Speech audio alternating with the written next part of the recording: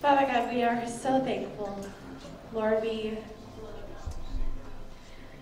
we recognize your your love and your mercy now, Father. We we thank you that you are a God that sustains us, Lord, a God that fulfills our, our hearts, Lord. That you, as you continue to make us new, Lord, that you you promise that you will fulfill the work. That it's not on us, Lord. It's it's completely on you. And you, we thank you that you've made the way and that you've fulfilled the way, Lord. Father, let us give you thanks now. In your Son's name, Jesus Christ, amen. Give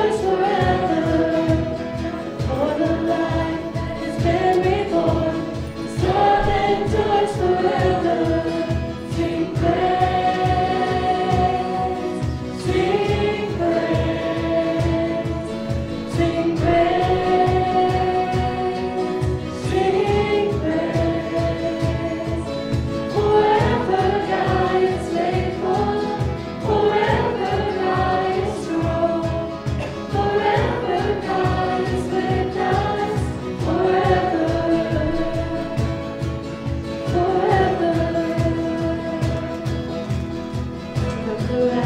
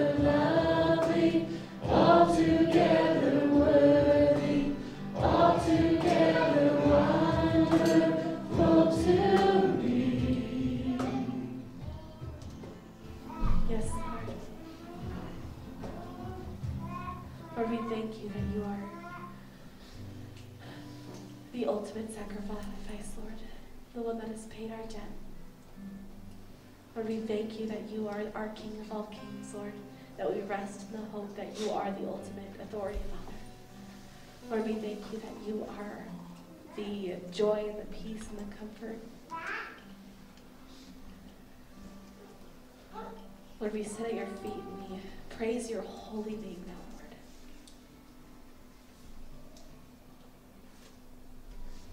In this season of, of Thanksgiving morning, I pray that we are daily reminded of, of your love. We are daily reminded of, of your grace, Lord, of your, of your mercy, Father. And that we can give you glory and honor and praise for the sacrifices that you gave. Lord, we love you and we praise you. In your name, amen.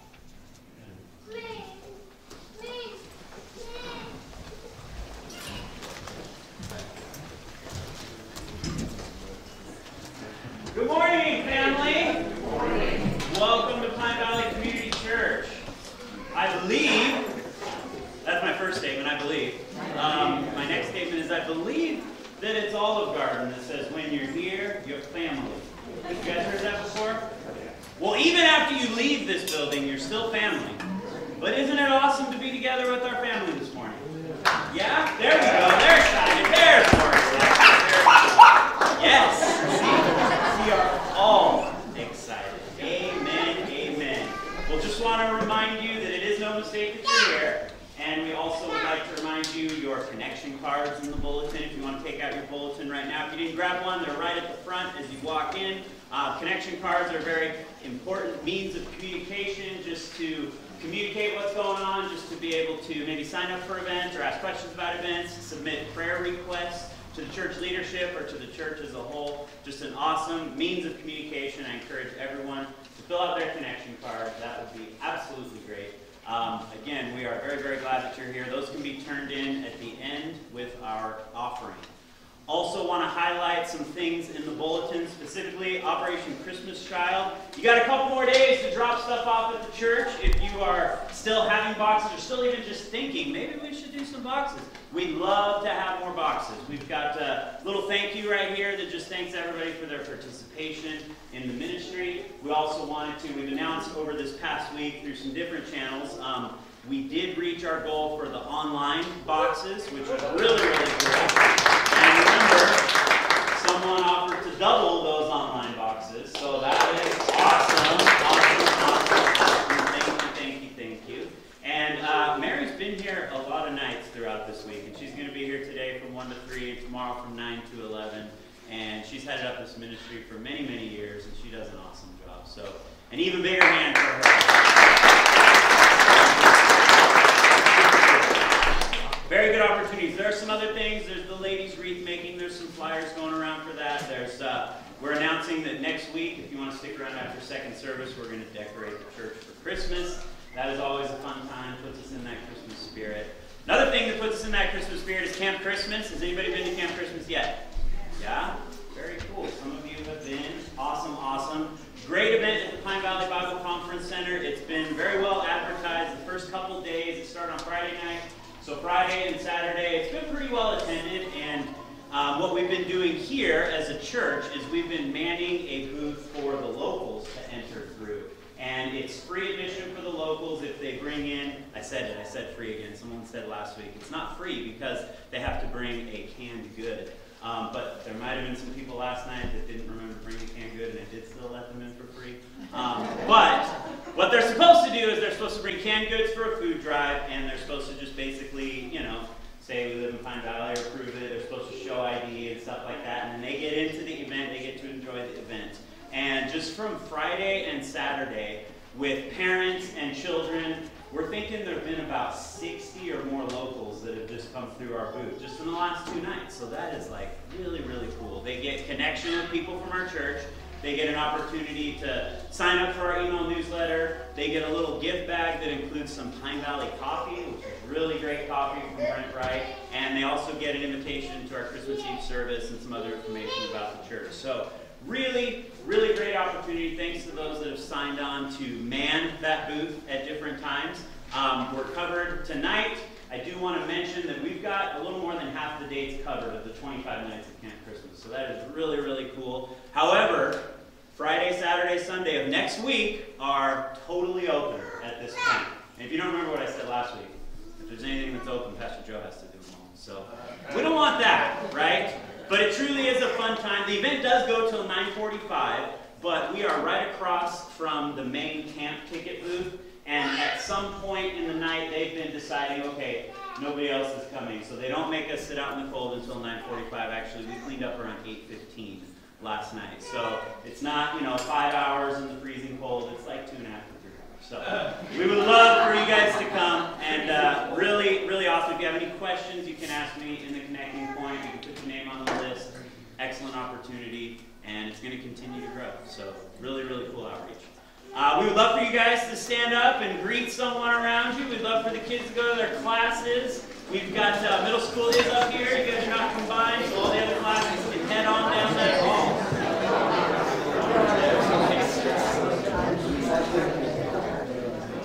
You guys can keep going as long as you want. You know, it was a, it was a couple weeks ago, Jeff was preaching and he was just kind of standing here and everyone was chit-chatting and I remember that was like his reaction is, hey, the longer you guys talk, the less I have to. And you know, I had, I a great attitude. You know what? I mean, I prepared my sermon, but that is only one of the things that we come together as a body to worship for is, is to hear the word of God, the word, the word of God getting together with each other, fellowship, that is such an important part of the worship experience. And that is what distinguishes coming together as a body to worship from just studying the Bible on your own. You really can study the Bible on your own. But this is what's not replaceable in any other way, this fellowship is coming together.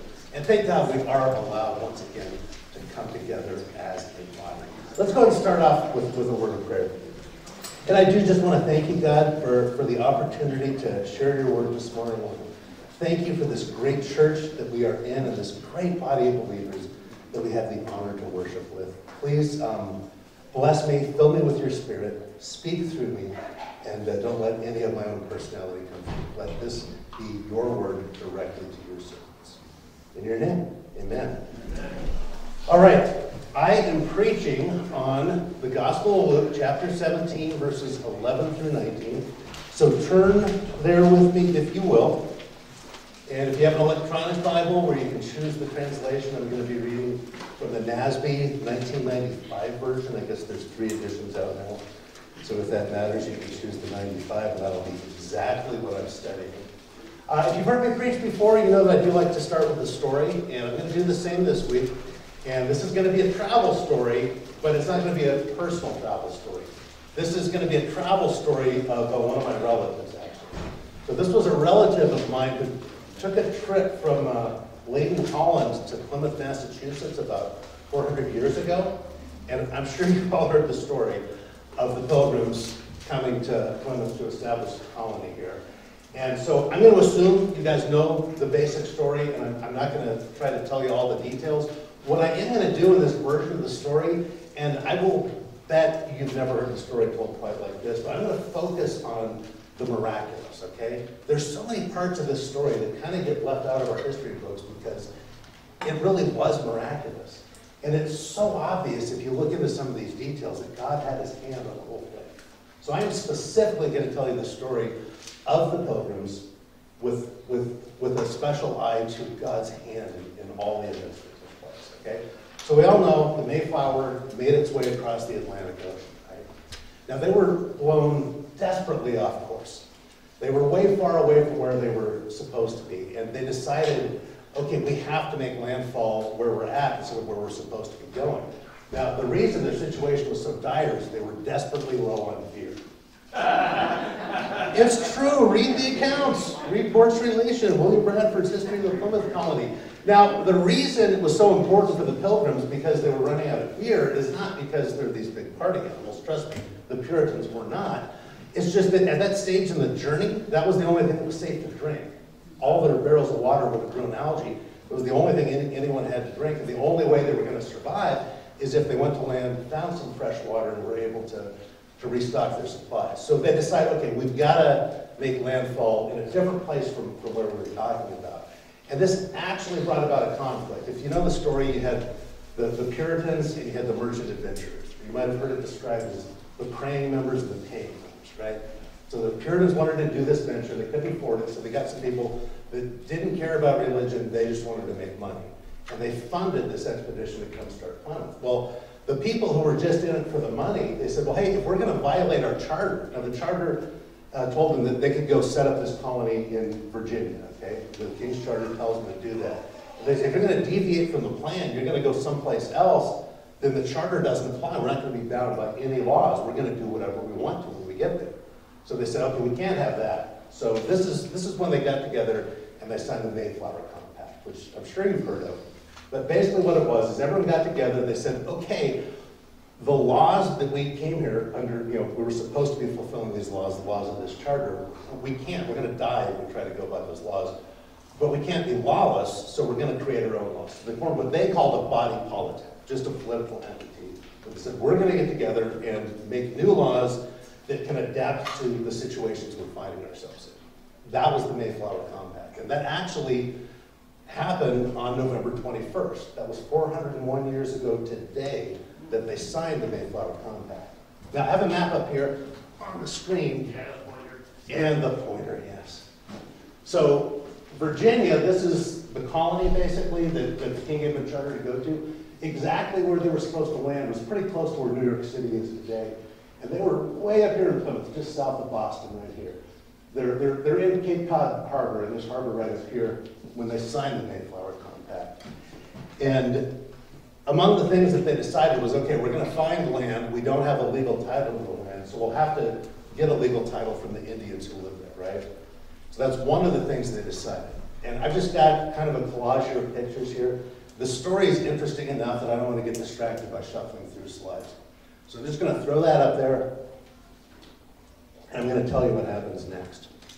So they decide they, they, they've, they've got to go to land, right? So the first attempt to do this, they go to land and they get attacked by Indians, hostile Indians, right?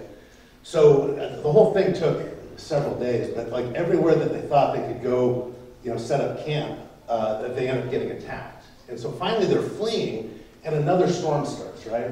So this storm is blowing them off course. There was one of the sailors who knew someplace up north, so let's go up there, it's a safe harbor, we're gonna get there. The storm gets so bad, it literally breaks their mast into three pieces, okay?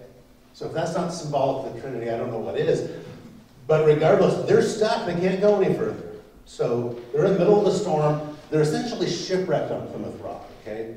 No one had any idea about this place, no one had any reason why they would want to go there, but this is where they find themselves.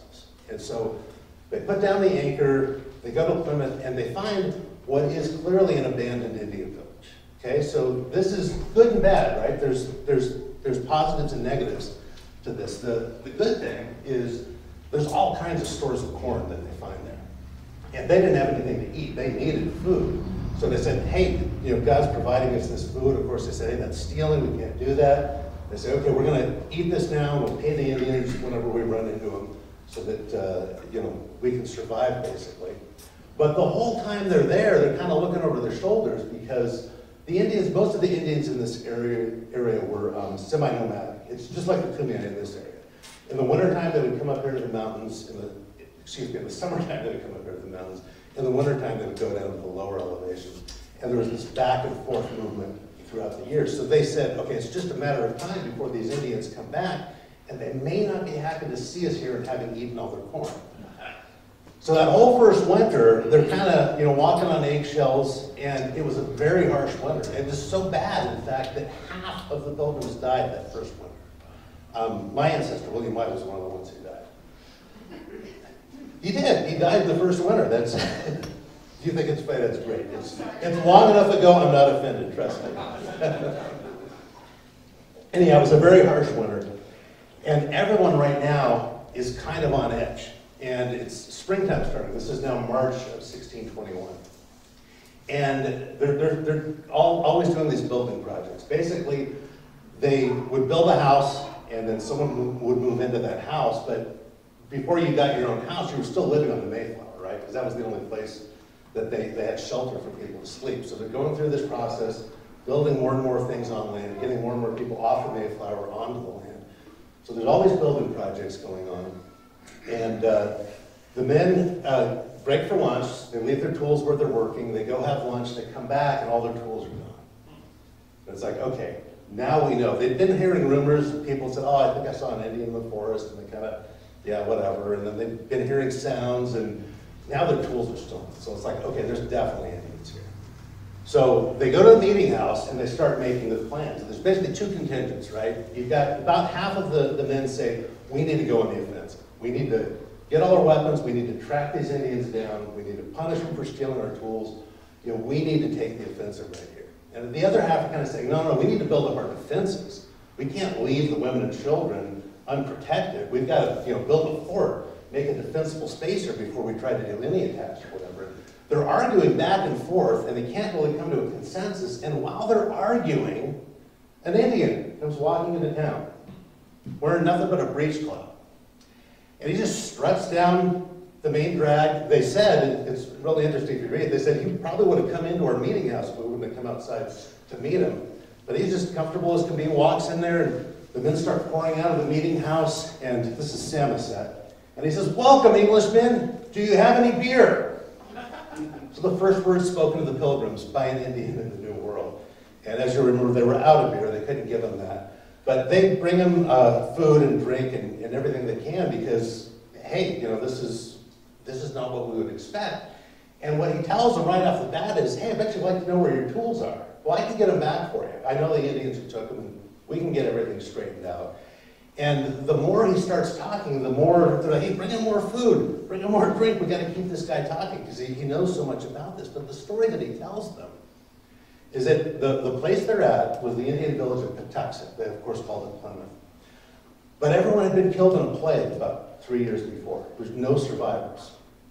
Um, so that's the reason there were no Indians there. So all of a sudden, they're like, wow, this is great. We don't have to worry about Indians coming back to try to repossess this village, and we don't have to pay anyone. There's no one left to pay. So basically, here we are.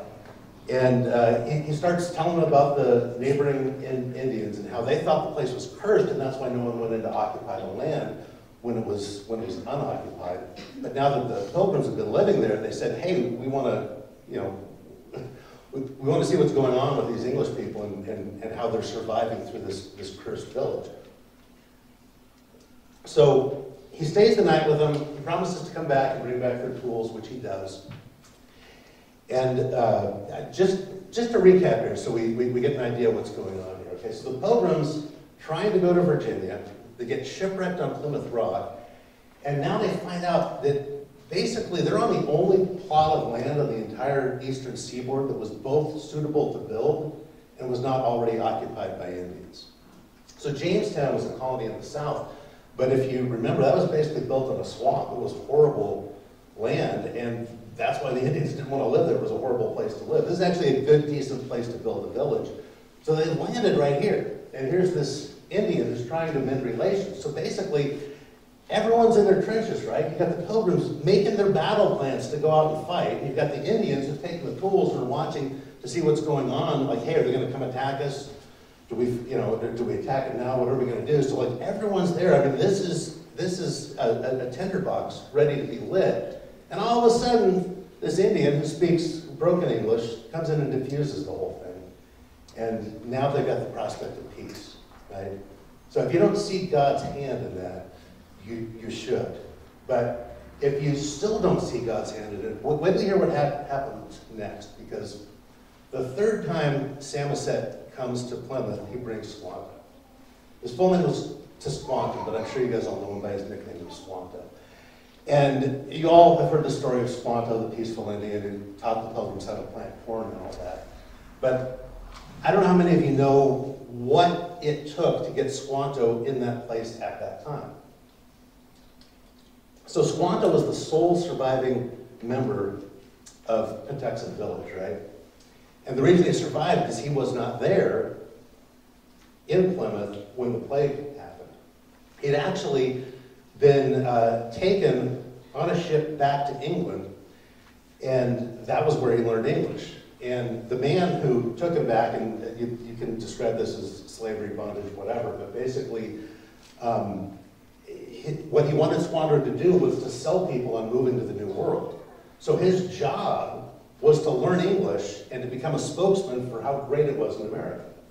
So Squanto spoke great English, which, you know, uh, very few Indians did. He was from this exact village, and he, when he was serving in England, you know, he kept talking about how much he wanted to go home. So after nine years, he says, okay, you've served me long enough, you can go back home.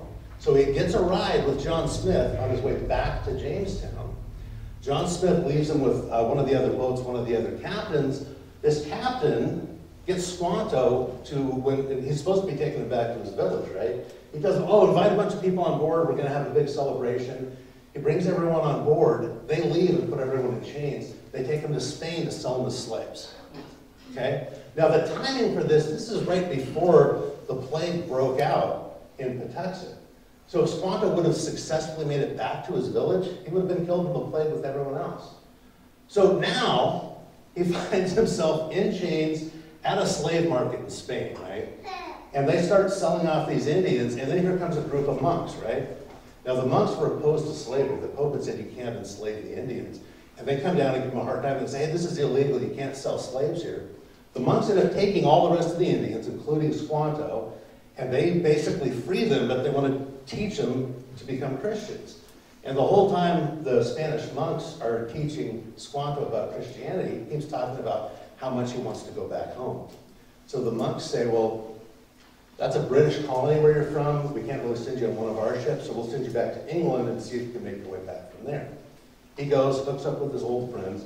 It takes about four years, but he finally makes his way back to New England, and he gets there six months before the Pilgrims. So here's this man who should have been dead, who should have been captured, but he's so earnestly trying to make it back home. He gets back home to find his entire village is dead, right? So he spends that six months. He goes to the neighboring villages, and uh, Massasoit, who was the, the big regional chief of the area, he takes him on because he knows the English have a big presence there, and he wants to learn about England, and Squanto can tell him. And basically, Squanto was convincing Massasoit, you don't want to fight the English. And he tells him about you know how many people they have back in Europe and all that. He says it's a losing battle. You want to be friends with them. You want to be on their side. So now you've got this chief in the area that the pilgrims weren't supposed to settle in, but they are now in because God dumped them there. And he wants to make peace with them. So when, when uh, Samoset brings back Squanto, he comes with a peace treaty. And he says, you know, Massasoit, the chief, wants to make peace with you guys. And the pilgrims, again, they have a choice right there. Well, do we want to sign this treaty and make peace with the Indians? And fortunately, they decide yes. Because, and I don't know if you've heard this before, but when Squanto went there with that peace treaty, Massasoit was hiding in the forest with a group of Indian warriors that outnumbered the pilgrims three to one. So if they would not have accepted that peace treaty, they would have been wiped out right there, and our story would have been very different. So that, to, to me, if you don't see the hand of God in all those events, and you just say, oh, this is just one coincidence, and a coincidence upon a coincidence, and another coincidence, I think you're intentionally hardening, hardening your heart. I think it's clear that God had his hand in the founding of America, specifically in the founding of the Plymouth Colony. And you, you guys know what happened from there. The seeds that they brought from England wouldn't grow. The only thing they were able to grow was the corn and squash that Squanto told them how to plant. So by the end of the summer, they realized none of the things we were planning on relying on for survival worked. The only things that were able to survive on are what we've learned how to grow here. That's when they had the Thanksgiving feast. And that's what we're going to commemorate on Thursday. It's actually the quadricentennial, 400 years after the first Thanksgiving is what we're going to be celebrating on Thursday. So thank God for that. All right, that gets us to our passage for today. And uh, no secrets here, you probably have a caption in your Bible. This is the story of the ten lepers. And we are going to be focusing on gratitude and thankfulness today. So uh, if you want, to pause your notes, you can pull out your notes. If you want to follow along, If you follow along. We're going to start at verse 11. While he was on the way to Jerusalem, he was passing between Samaria and Galilee. As he entered a village, ten leprous men stood at a distance, met him. They raised their voices, saying, Jesus, Master, have mercy on us. When he saw them, he said to them, Go and show yourselves to the priests. And as they were going, they were cleansed. So, we've all heard the, the story of the ten lepers. I just want to stop here to focus on a couple of things uh, that are unique here. One is just the idea that he tells them to go show themselves to the priest, right? And that in and of itself, there's, back in Leviticus, I have the reference in your notes. I'm not going to go through it right now, but there's this long, elaborate ritual that someone who was healed of leprosy had to go through. They showed themselves to the priest, they offered the sacrifice and that sacrifice, and then they're allowed in the village. They can't go in their home, but they can live in a tent outside their home until a certain number of days pass. They do another set of tests and they do another set of sacrifices. There's all these things that they go through. So there's all these rituals that a leper is supposed to go through once he's been cleansed. And so Christ is basically telling them, follow that tradition. This is the law of the land. You need to go show yourselves to the priest. But the other thing that's interesting about that is the idea that he doesn't heal them first. Most of the times, when Christ would heal someone, and then he might say, go make your offering to the priest, or go show yourself to the priest. But in this case, he tells them to start walking to the priest without healing them. So he's asking all of them to show a great deal of faith, right? Is we're going to start walking, we're going to start heading to the priest to show ourselves having been healed just on the faith that God will heal us on the way. And um, that is exactly what happened. It's kind of reminiscent of the, the centurion's servant, right? And I've got the passage there too. You can turn there if you want to. Um, please, it, rustling pages, I like the sound of rustling pages in your Bible. It won't bother me at all. I'm not going to read the passage, I'm just going to summarize it. But you know the story of the centurion's servant, right? The centurion has a servant who's sick. He asks Christ to heal him. Christ says, Oh, yeah, I'll, I'll, I'll go heal the servant. And the centurion says, Oh, no, no, no.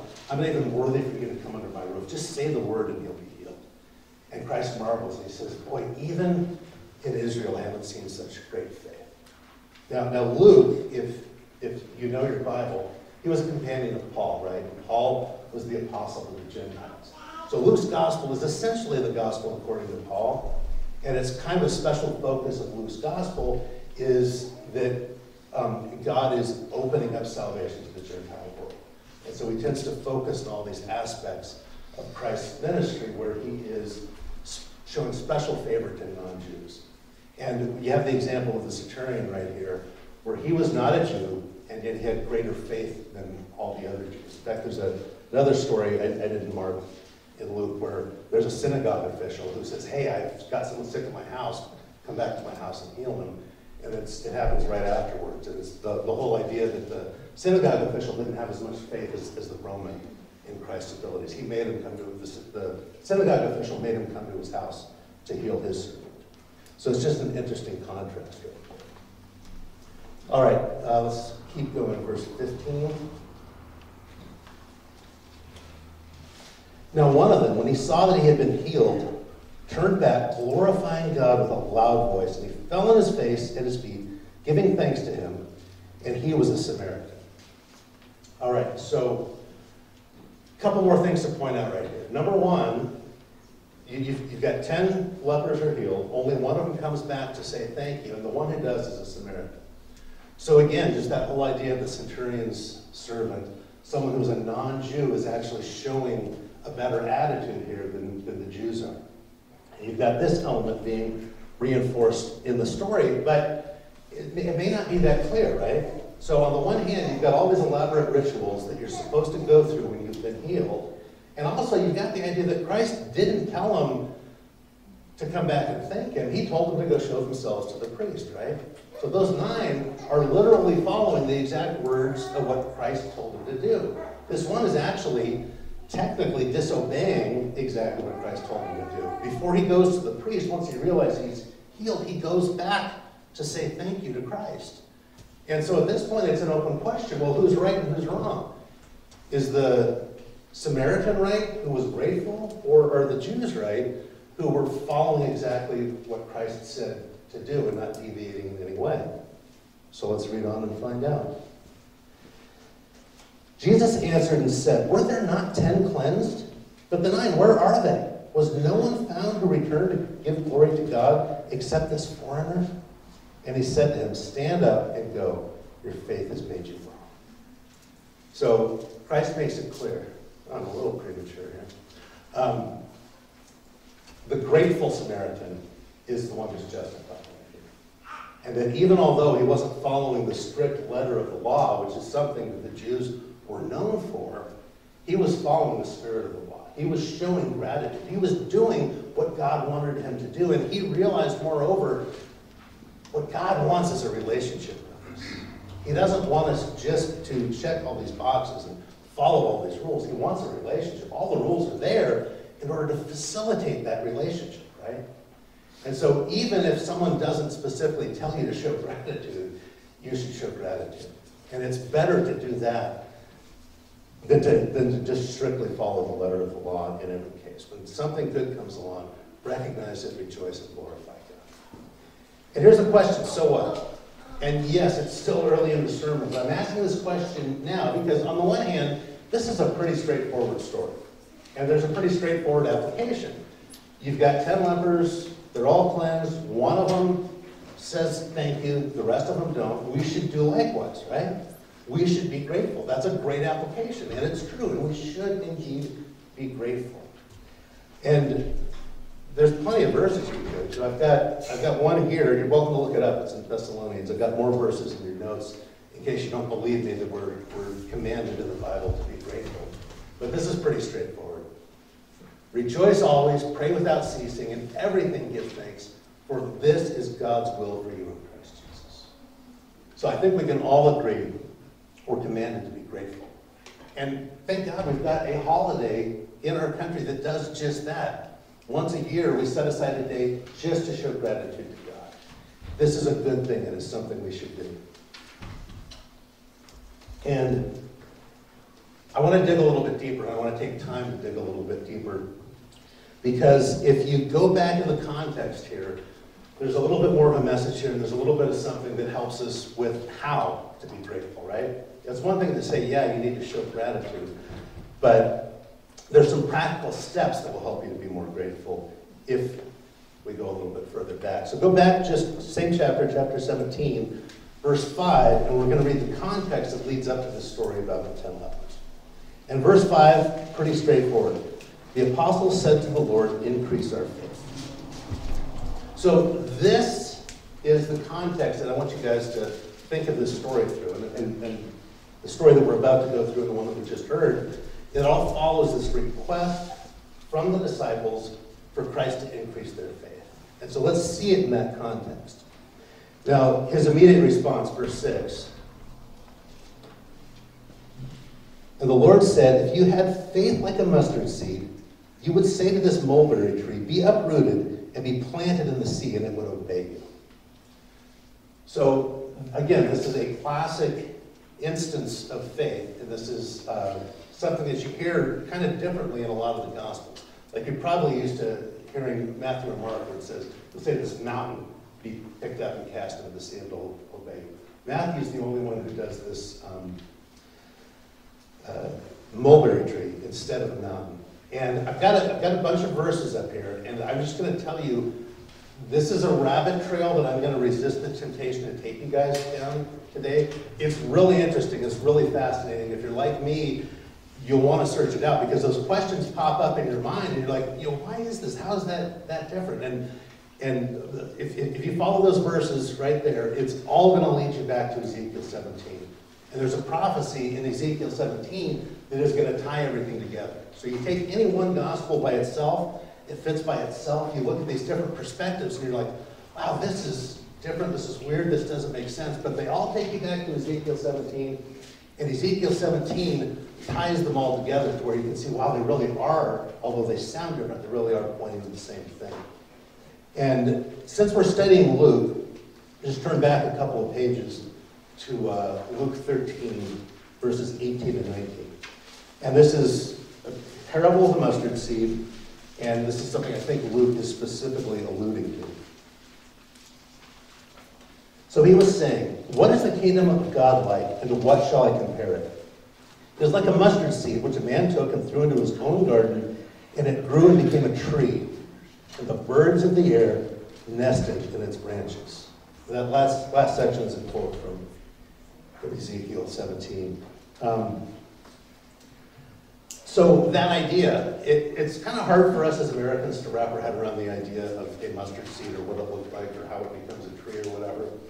But I, I used to work at Hume Lake, and one of the jobs I had there was leading what we call Lakeview tours. It's basically a ranger hike. So Hume was known as being a youth camp, but when we had like 1,200 kids a week, we also had about 100 adults. We had an adult ministry going on, and this was something that we did for the adults.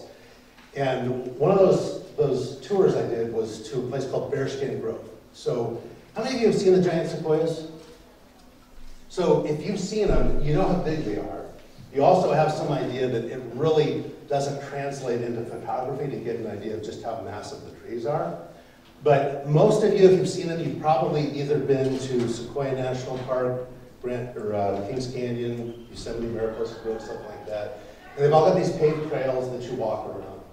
Well, there's also a lot of groves that are in the national forest. And in the national forest, you can just go out and, and walk amongst them. There's no paved trails, there's no signs telling you not to see there.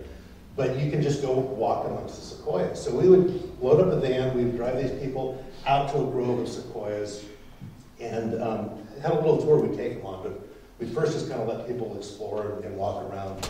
And invariably, someone's going to see a sugar pine cone. We're, we're in Pine Valley, we know what pine cones look like, right? They're, they're, they're a pretty big pine cone. And someone would say, hey, is that a sequoia cone? Because it's like this huge cone, huge tree, it makes sense. It's not. Um, this is a sequoia cone right here. I brought one with me.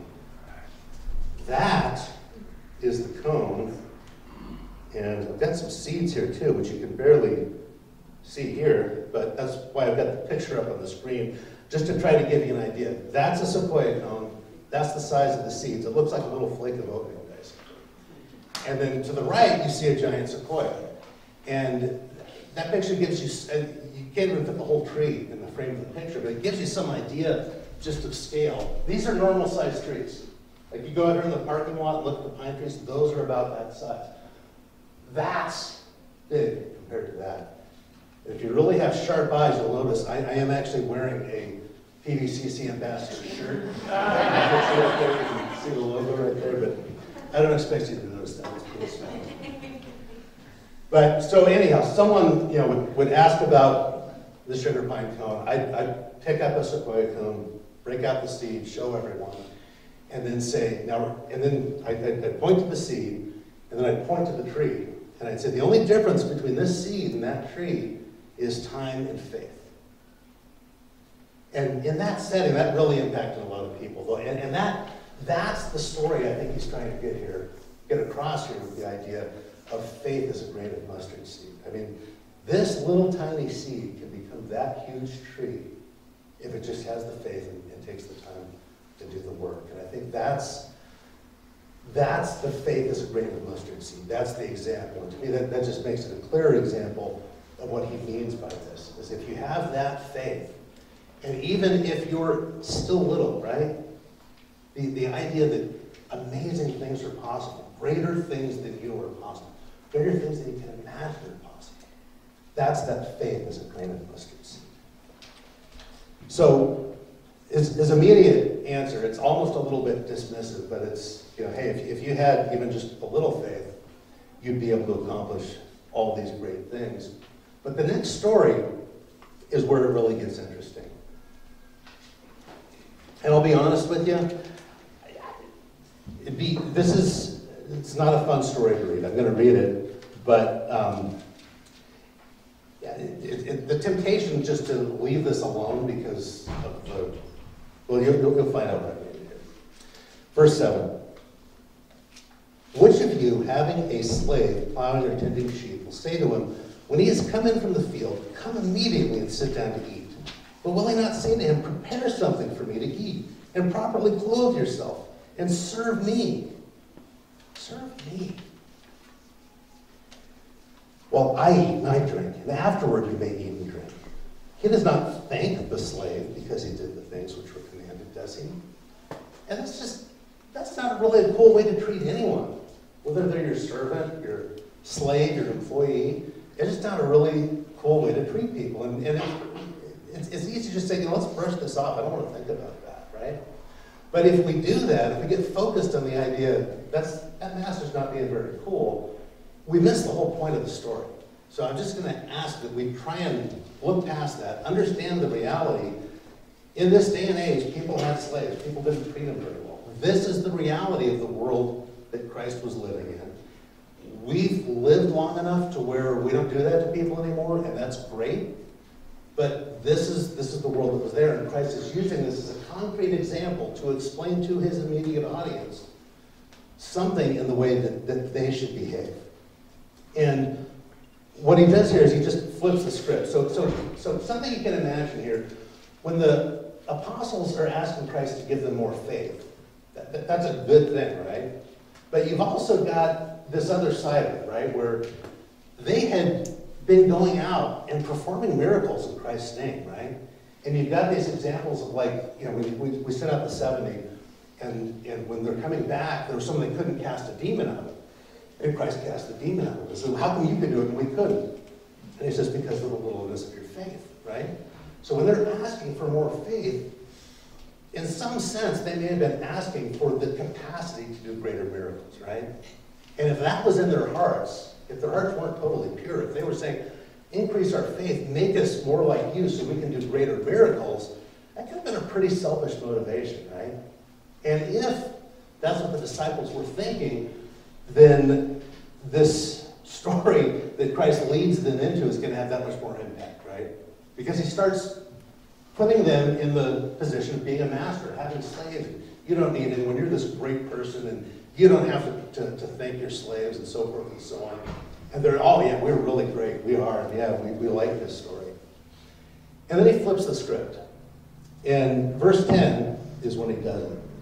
So you too, when you do all the things which are commanded, you say, We are unworthy slaves. We have done only that which we ought to. Now think about that and let that sink in. Okay, so if the disciples had that attitude, and they're like, hey, we, we want to perform these great miracles, we want to, you know, we want this power, right? And then he draws them in on the idea of you know, being a master, being in control of everyone. And, and they're like, oh, yeah, yeah, here we are. Here's the story. And he says, okay, you need to be like slave. What impact would that have?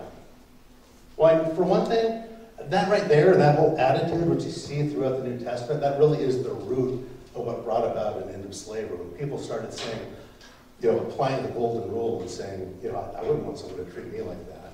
And the idea of putting yourself in the mind of a slave. But this too is a motif that's picked up by the apostles. I mean, you've got Paul, Timothy, James, Jude, Peter, all start epistles by calling themselves bondservants of God. That's that same word, is the same word, it's translated servant or slave. Uh, depending on where it is in this translation, some translations just translate servant, some just translate slave. But it's the same word. And the idea that that um, you know Paul develops that you're either going to be a slave to sin or you're going to be a slave to Christ, right? But you should have that attitude. You should have that attitude of a slave. And what I like to do, to do now is just think about that in the context of what we're learning here. They've asked to have their, their faith increased. We know that we're led to the story about showing gratitude, right? And right here, they're being asked to have the, the mentality of a slave. And this is what I suggest. He's trying to get rid of the, the mentality of entitlement, okay? So if you feel entitled, that's the opposite of feeling grateful, right? You can't be both entitled and grateful. Oh, I deserve all this, you got no reason to be grateful. It's just something that you were entitled to, right? It's something you deserve. If you have the idea you know, I don't deserve anything, you're going to be grateful for everything that does come your way, right? And let's think about that in the context of the story of the ten lepers, right? And, and, and even go back to the, the story of the centurion's servant, right?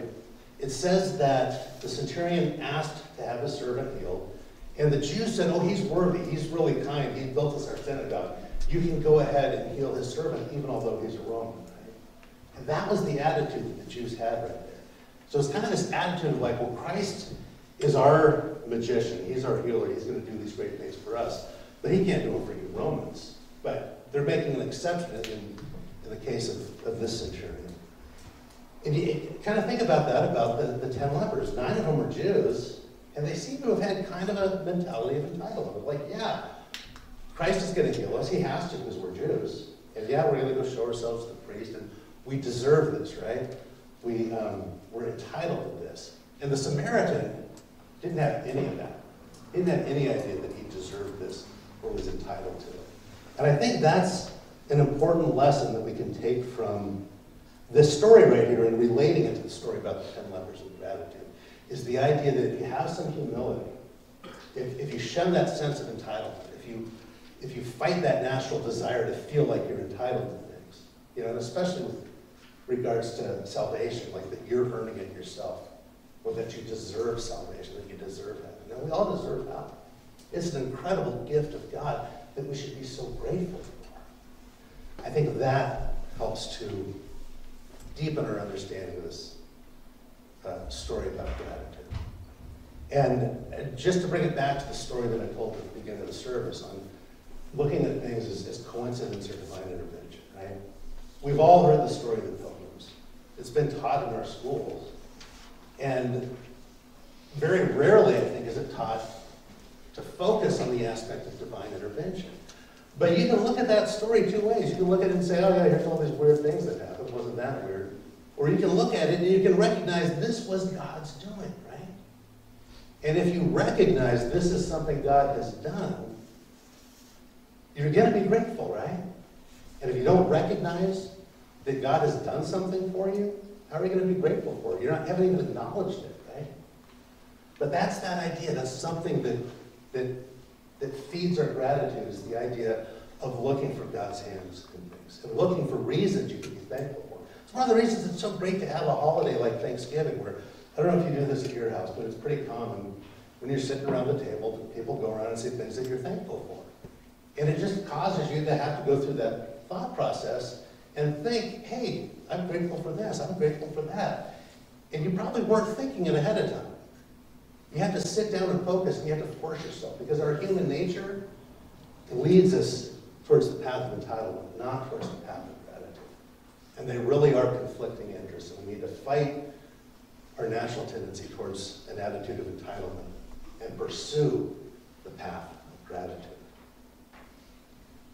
So, again, the whole start to this episode was the disciples asking to have their faith increased. And, and again, that's something that does increase your faith. If you're looking for things, yeah, God did that. I should be thankful to God for that. Then you say, wow, look at this thing that God did. Whereas if you're, you're not even recognizing that God did something, that decreases your faith because you're, you're saying, oh, God never does anything good for me. But if you're grateful, you are recognizing that, and that does increase your faith. So again, this process feeds on itself. You're going to take one path or the other path. Take the path that keeps you increasing your faith and keeps you being more grateful. And that just takes us to the last thing, which is the title of the sermon, and, and it's the theme of the sermon, just thank God. So, in everything you do, take time to thank God for all of the incredible blessings that He has given you. And let's do that together right now. Let's go to the Lord and thank Him for the blessings that He has given us.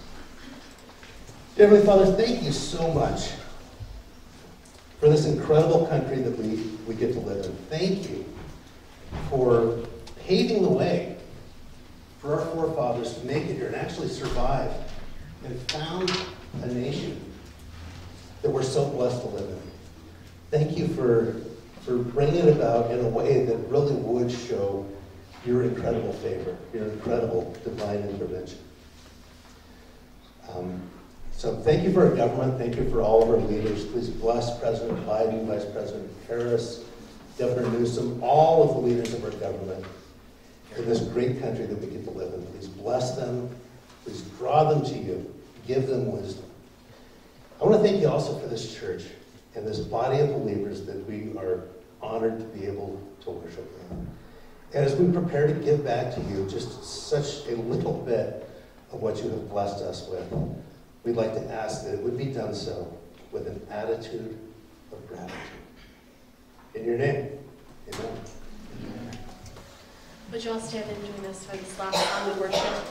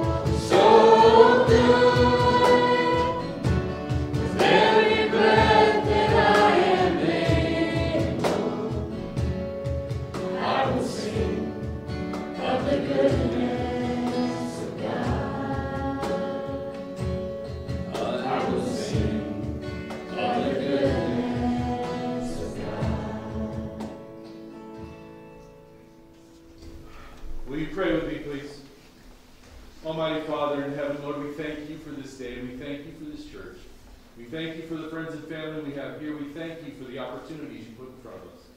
Father God, you are so, so good to us. Father God, we do ask that you would strengthen our faith. Strengthen our faith that we might find a way to glorify your name, to point the, word, the world to you, to show them your goodness, to show them your faithfulness, to show them your love and mercy. Father God, you have made what is right you have done it all. We thank you that we're able to come here and praise your name. Father God, we ask that you accept our tithes. We ask that you accept us, Lord. We do belong to you. We are here to say we are Christian. We are here to say we belong to the one God. All powerful, all knowing, and in control. Father God, help us as we go this week to step out. To step out in faithfulness. Again, to point the world to you. To share with the world what we know is true. You have a plan. You are in control. We thank you, God, that you you will be there for us every step of the way. You are amazing. The fact that you would love us so much is amazing. Father God, help us love you more, to follow you more.